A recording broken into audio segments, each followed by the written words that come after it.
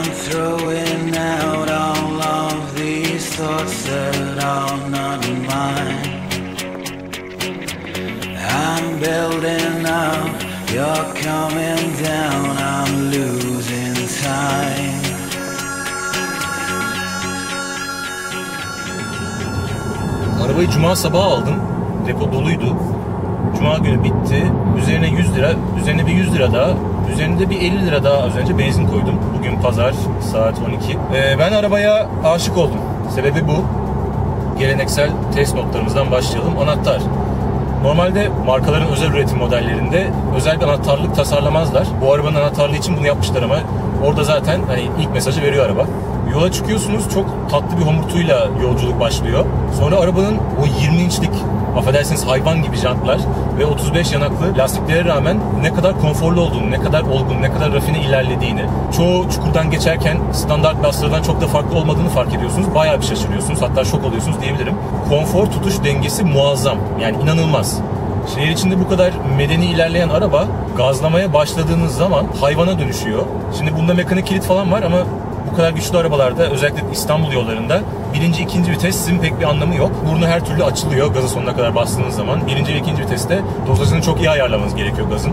Ama ne zaman ki üçüncü vitese geçersiniz, ne zaman ki 100 kilometrenin üzerine çıkarsınız, ne zaman ki araba düzgün bir asfaltla karşılaşır, o zaman hakikaten çok çok fazla tutmaya başlıyor. Viraja giriş hızlarınız hiç alıştığınız şekilde değil. Normalde işte 120'de 130'da girdiğim virajlara içgüdüsel bir şekilde yani, yani kasarak değil, zorlayarak değil, kendiliğinden 150-160'da girdim.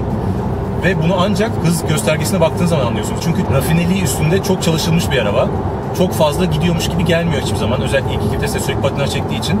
Hani ikiden sonra evet yürüyor ama aslında baya baya gidiyor. Bunu ancak dediğim gibi hız göstergesine baktığınız zaman anlıyorsunuz. Çok olgun, çok medeni bir araba. Fakat bunlar hep e, bazı şeyleri gizlemek üzerine kasılmış. Yani araba aslında hayvan. Yani böyle dar yollara giriyorsunuz mesela. İşte buradan traction kontrolü kapatıyorsunuz.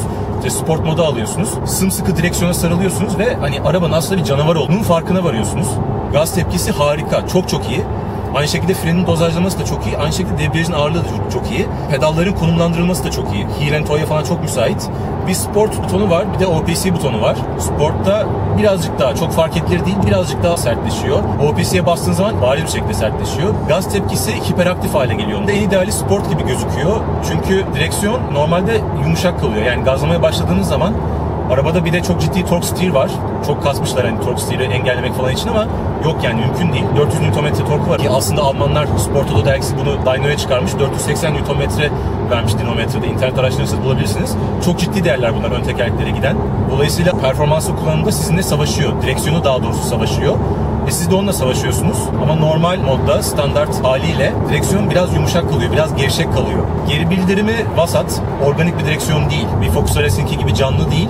Tatminkar bir hale alması için en azından sport modu açmanız lazım. O zaman çünkü toklaşıyor. Yani tek elle kesinlikle gazlanacak bir araba değil bu. İki elinizi sımsıkı tutacaksınız simidi ve çok konsantre olacaksınız. Bu tabii mücadele çok büyük aslında bir yandan da tatmin veriyor. Yani işiniz bittiği zaman hızlı bir sürüşün ardından eve girip de işte arabayı park ettiğinizde o çıtır çıtır sesler çıkarken çok büyük bir tatmin duygusuyla ayrılıyorsunuz arabadan.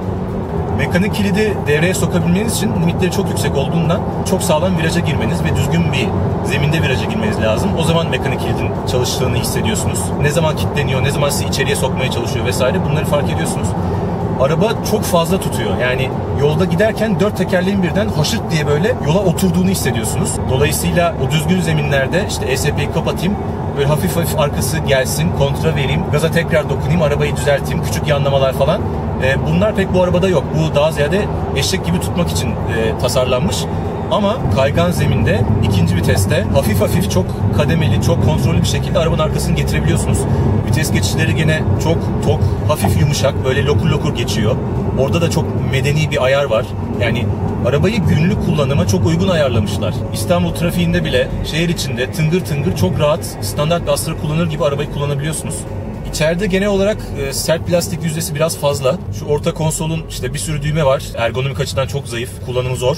Ama arabanın içinde bir öğe var ki her şeye her şeye bedel. Şu koltuklar. Yani bu koltuklar uygun sıfat epik. Her yöne ayarlanıyor. Sertliği, destekleri, sürüş pozisyonu, malzemesi, Neresinden bakarsanız bakın kusursuz koltuklar. Onun dışında kullanışlık olarak araba harika. Arkası çok geniş. 1.85 bile hiç diz mesafesi, baş mesafesi hiç sorun yaşamadan arkaya rahat rahat sığıyor. Her tarafına eşya gözü koymuşlar. Buna da bayıldım. Hoparlörler Infinity. Müzik sistemi muhteşem. Muhteşem muhteşem. Hiç kapatmak istemiyorsunuz. Arabadan genel olarak zaten hiç inmek istemiyorsunuz. Lastikler çok geniş olduğu için, dejantlar çok büyük olduğu için yoldaki pürüzleri, işte yamaları, bozuklukları araba çok fazla takip ediyor. Bozuk yüzeylerden geçerken direksiyonda çok sık düzeltme uygulamanız gerekiyor. Gaz pedalını okşayarak kullanırsanız şehir içinde 8,5-9 litre ortalamayla gezebiliyorsunuz. Ama bu tabii pek gerçekçi değil yani bu arabayı o şekilde uzun süre kullanamazsınız. Gazladığınız zaman tüketimi 20 litreye, 20 litrenin de üzerine çok rahat çıkıyor. Diğer Hateçlerden bunun kağıt üzerinde hani en büyük dezavantajlarından bir tanesi ağırlığı gözüküyor. 1550 kilo araba. Ama yolda bunu hiç hissetmiyorsunuz. Yani hiçbir zaman size bir hantal his vermiyor. Hiç sorgulamıyorsunuz yani arabanın kütlesini. El freni elektronik. İnsan böyle otomobillerde, böyle önden çekiş otomobillerde virajlarda şurada bir kol arıyor. Yani şurada hazır ol beklemek içinizden geliyor.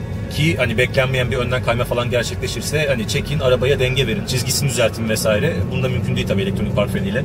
Diğer küçük bir eksisi dönüş çapı fazla. Biraz fazla dar alanlarda manevra yapmanız gerekiyor. Yani bıraktığı izlenim adamlar bir canavar yaratmışlar. Ondan sonra da onu ehlileştirmek için ellerinden geleni yapmışlar ve becermişler de. Ama tersi değil.